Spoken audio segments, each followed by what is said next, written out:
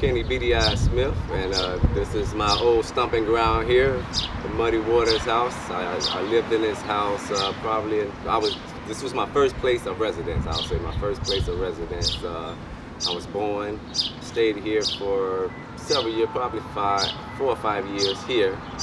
Um, my, my father and a ton of other musicians would come in and out of this house daily, uh, out of this house.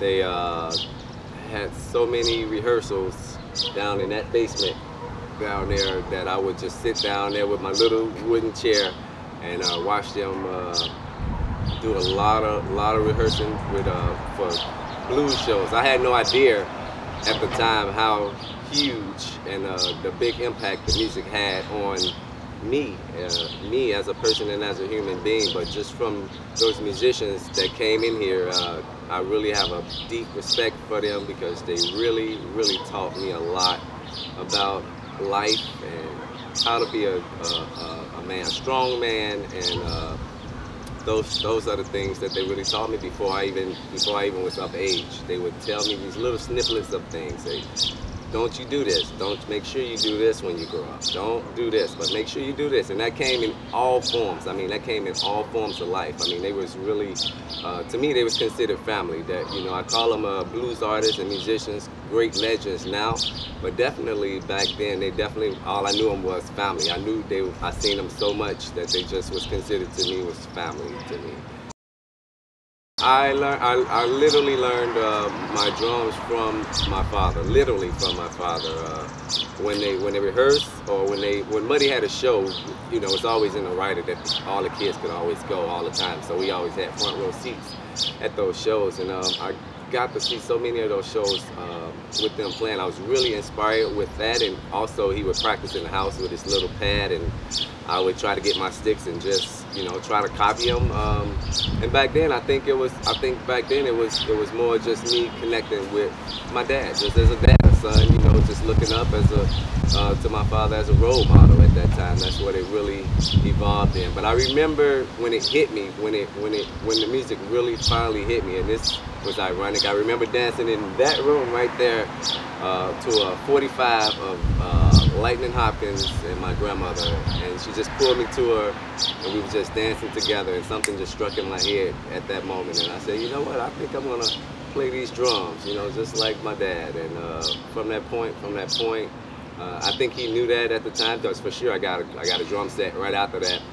I didn't ask him for it. He just got it. He must. He just knew. He just knew. Um, and I, from that from that point on, I just started really homing in and going to many several shows with him. Uh, At the time, I was to me it was more enlightening going to the shows. I think I was the roadie.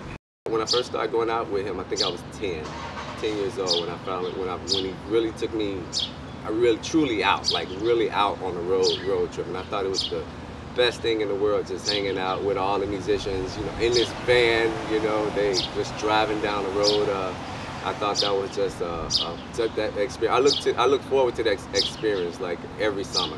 The day I got out of school, I was just looking forward to uh, getting out and going to going on those going on some of those trips with him. You know, and bringing up bringing up school too. That was a, definitely a factor that every uh, every musician that I encountered in this house definitely uh, engraved in my head. You know, it's definitely get your education. You know, some of them would say, "Hey, I didn't do it." but you make sure you do it. You make sure you get it. Make sure you get it. You know, and it, and and truth be told, as a musician, I, I I mean I felt it in my heart. I wanted to go. I just wanted to play. I want. I don't want to see nothing else. I just want to go play. But with a strong foundation, you know, uh, my, my mother, my father, and the musicians around me, you know, that that they, they really honed that in to me and they said, no, you do it, you know, and definitely I'm thankful that they said that, and that that brought to my attention. You know, it takes it takes a tribe to raise one person, and I consider those musicians, you know, part of my tribe. First time I ever ever got paid, I was 13 years old.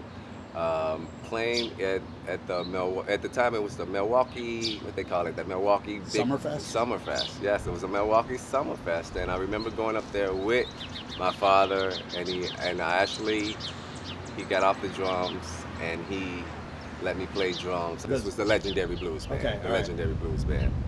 That was the very first time that uh, he paid me. Soon as I finished, boom, he paid me, and I thought it was great. I just it was 50 bucks, but it was Yeah. the, uh, But 10, 13-year-old 13 kid, with a 50 50 bucks in my hand was great. Yes, that was a that's a lot of candy. you know, yeah, for sure at that time. So, um, I mean, yeah, I was I was definitely hooked. I was hooked on the music. Uh, haven't haven't been unhooked since. My mind is my mind is still tending to shoot towards the music, uh, towards the blues, and keeping it strong and alive. And I'm, I'm, I'm going strong, going strong, full speed ahead, you know. And, and I'm hoping, and not to stop anytime soon. One other thing that I have to mention is I played with another show that I had. I think it, that I went on a road without my father was with Sam Lay. He actually came over to the house, and I know I remember him and my father talking, and I remember just him my father saying, take care of him. You know, Yeah. Sam saying, no problem, you know, no problem. And he took me on the road. One of my long-standing bands that I've been playing with, maybe 17 or 18 years, uh, with, was uh, Mississippi Heat. I've been playing with that band strong, strong for about 17 years with that band, steady and steady and strong with that band. Uh, I've come across, I played with the Cashbox Kings, that's a band I play with, the Matthew Skoller band. I mean, the, this list, we, you'll run out of film probably before I Right. finish.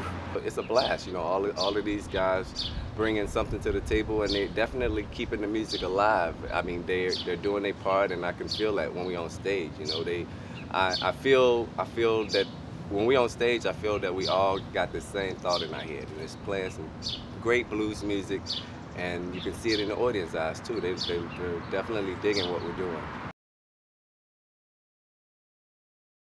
Every time I come over here to, to visit, I always look I always look at the house. You know, I can see what I what I see is the vision that I instilled that that's engraved in my head. That's what I really see when I come in here. Growing up in this house, this was I mean I've seen many musicians. You know, uh, now I really like I say now I really honor the musicians that have came and walked through these doors because at the time uh, when they came in, like I say, I would see them all the time. It was it was just a given thing.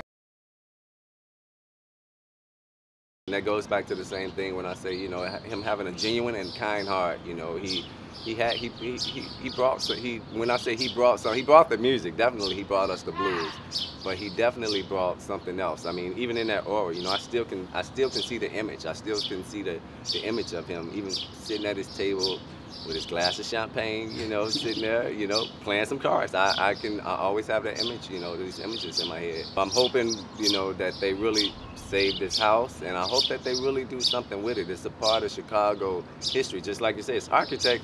This is some this is some deep, heavy history right right here. The blues for me is definitely engraved in my heart. I mean, it's bigger than it's bigger than me. You know, it's bigger. When I say that, you know, I don't. I'm not looking for no attention or anything like that. I know in my heart, if I'm I'm just trying to pour it out, that's what I really want.